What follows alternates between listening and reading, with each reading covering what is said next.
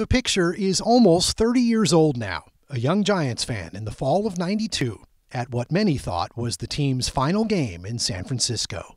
You know, you can see the emotion um, in my face. Like, I, I, truly thought that that could be my last um, Giants game because I thought they were moving to, to Florida.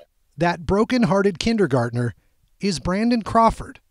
As you know, the move to Florida never happened, and since then, Crawford's seen thousands more San Francisco Giants games. Uh, I don't know exactly how many games I went to. I know I went to a, a pretty good amount, though. I was, I mean, I was a huge fan. Crawford grew up just across San Francisco Bay and spent a lot of his childhood dressed in orange and black at Candlestick Park.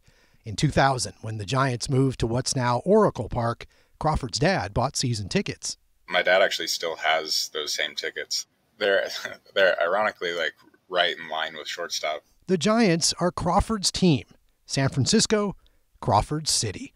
And that's why he works so hard to give back, teaching the game and renovating rundown fields in the very neighborhoods he used to run around in. It was kind of like right right in the shadow of, of where Candlestick used to be, and you know where I grew up watching games, and was um, really special to be a part of. Three decades later, the kid who thought he'd seen his last Giants game has now played more games at shortstop than anyone in the history of the franchise. No life is perfect, but Brandon Crawford's feels pretty close. You know, 10 years later, still being here with a couple World Series, hopefully another one coming soon. I mean, it's about as perfect as, as I could have ever imagined, for sure.